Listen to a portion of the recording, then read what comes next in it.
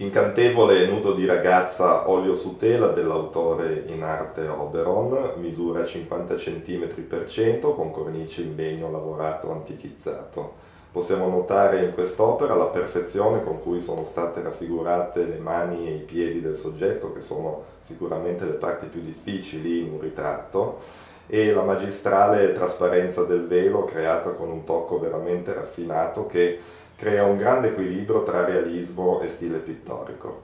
L'opera viene venduta a un prezzo di quota di 1800 euro e può essere aggiudicata al prezzo eccezionale di 850.